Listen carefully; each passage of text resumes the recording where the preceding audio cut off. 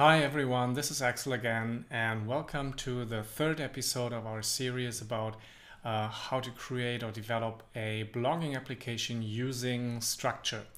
Um, in the first two um, episodes, I showed you how to create a simple data model for blog posts uh, and create a simple um, blog post details page and a list page um, using a simple database repeater. Um, both pages were imported um, uh, from the internet uh, as a static template. Um, in this third episode, I'd like to show you how to extend the list page um, by a search um, field or a search functionality to filter these block elements by um, a search term a user enters in, uh, in an input field. But um, to start, we'd like, or I'd like to show you how to import the application state as it was at the end at, uh, of the, um, the, um, the, last episode. In order to do that, uh, I'm already logged into the dashboard page uh, or into the um, Structr application on the dashboard page and I, I, just enter or paste the URL of the zip file um, which contains the full application. I click on import from URL and Structr downloads the file, extracts it and um, creates everything we need to um, be at this in the same state with the application as it was last time, um, uh, including pages, files, schema, um, so yeah, now we can go to the pages and we see the two pages we created uh, during the first two um, tutorials. Um, okay, now to we want to uh, extend this list functionality or and, and, and use this search functionality to filter these the list of blog posts. In order to do that, we have to identify the element here, the input field in the tree. It's this input element. Um, now let's uh, open this overview page in a separate tab um, just to test the search functionality. If I enter something here, nothing will happen uh, no matter what I do. That uh, is caused by uh, the fact that this is a static single input field and it has no form element around it. Uh, so the browser will just ignore everything uh, we do with this input element. Um, to, um, to turn that into a dynamic field, um, there are a couple of options. Um, one of the most uh, One of the oldest and most simple options is to just um, wrap this input field in a form element.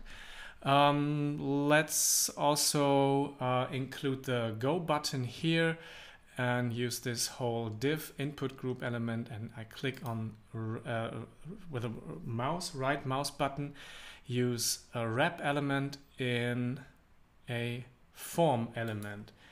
And um, I will just assign um, the right permissions so that uh, you can or everyone can see also the form element and its content. Um, I can just apply visibility settings here in this dialog, make it visible to public and to authenticated users as well.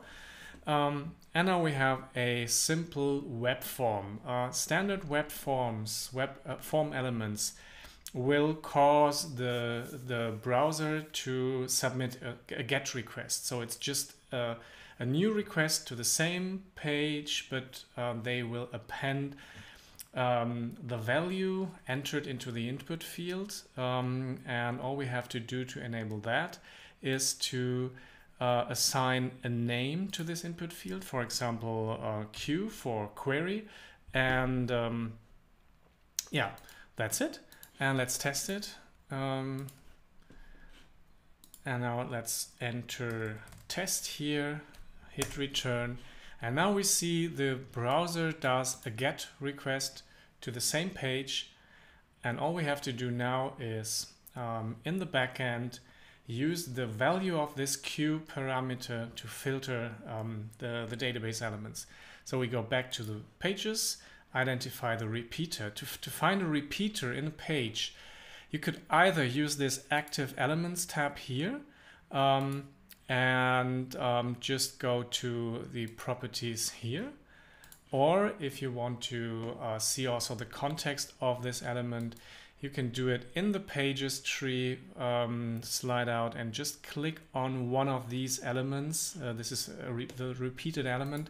Click here and then you can um, you can see that this is the special element which has a colored icon and we can also here go to the query and data binding dialog. Now, in order to filter the list of blog posts by um, the, the uh, search term entered by the users, we have to um, extend this query a little bit. Um, and we have to replace find by search uh, because find is for exact queries and uh, search is for inexact and case insensitive queries. You can read it in the documentation um, on our support portal. I will, uh, in a couple of seconds, I will just go to this support portal and show you um, uh, where you can find this information. So I can add or I will add another um, parameter here. Um, so we just filter um, blog posts by the uh, text attribute and we use uh, request.q. So request here is just a reference key to, um, to uh, access the data of the request object. Um, and request.q will return the uh, value of the Q parameter, the Q request parameter. Save it and uh, as you can see, the list of the elements in the preview um, is empty.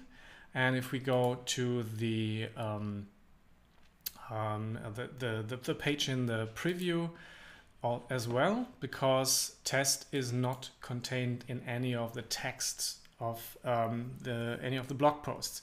But if we enter text or um, happy or something like that, then we get the filtered content that also works with a single uh, single letter, like for example A or S uh, and so on.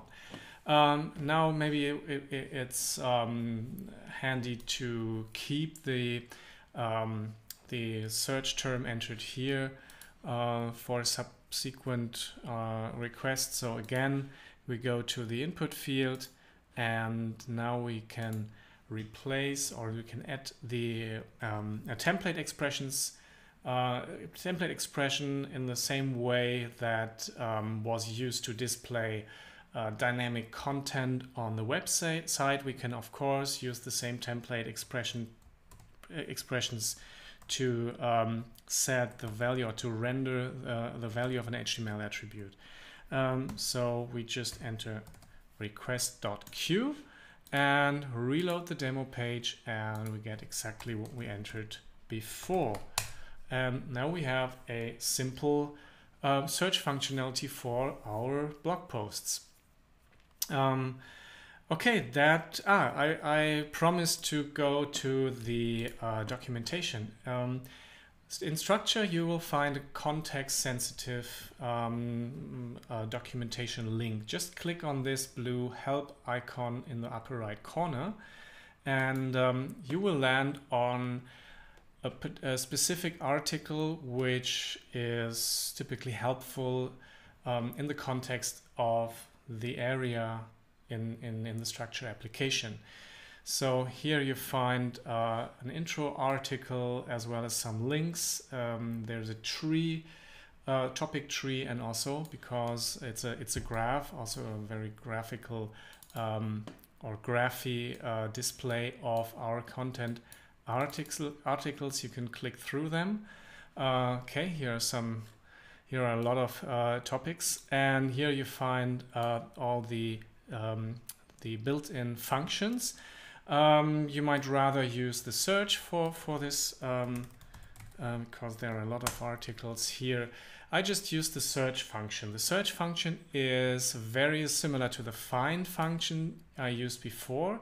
Find is for exact search and search is for case insensitive or inexact search.